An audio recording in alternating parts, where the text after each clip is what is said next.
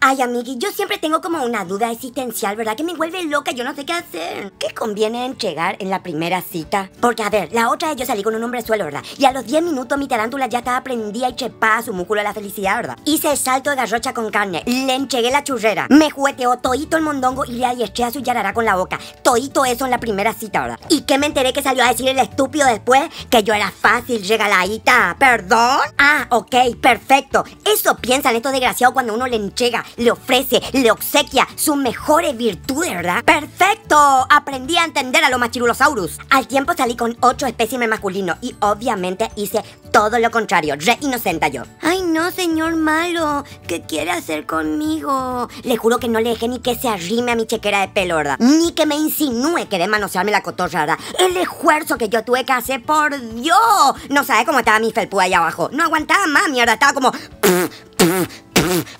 Toda hinchada, Parece que le hayan picado toda abeja. Hasta la forma ya haya perdido. Pero te juro que fui fuerte y me aguanté, ¿verdad? ¿Y qué salió a decir después el bobeta? Que yo soy una histérica, una calientapava. ¿Perdón?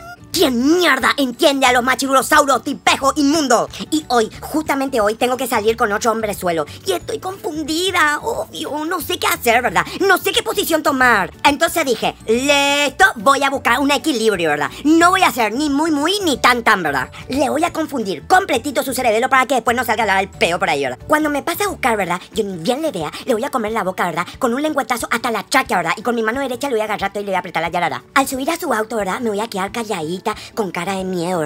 Y con voz dulce le voy a decir, ay, Disculpa, no sé por qué yo hice eso. Fue la primera vez. Él no va a entender nada, ¿verdad? Al llegar a su casa, ¿verdad? Le voy a decir como que yo estoy arrepentida de estar ahí, que tengo miedo, que me llegue con mi mamá. Él obviamente me va a rogar para que yo me quede y me va a mirar con ternura y morbo. Yo cada tanto le voy a toquetear la gallina arrepintiéndome y llorando después. Él va a querer convencerme para revolverme el estofado y rasparme todita la olla. Pero yo voy a poner cara inocente y miedosa, como que no entiendo qué es lo que quiere con mi cuerpo. Y como sin querer queriendo, voy a abrir mi patita y le voy a encajar tremenda revolcada al tipejo bruto ese. Le voy a limpiar la escopeta de una manera, uff, alta cepillale. Y al terminar me voy a quedar acostadita, ¿verdad? Lloriqueando un poco como arrepentía de las chanchadas que yo hice. ¡Listo! Felpúa contenta, yo contenta y el machirulosaurus totalmente confundido. ¿Qué va a decir ahora, Bobet?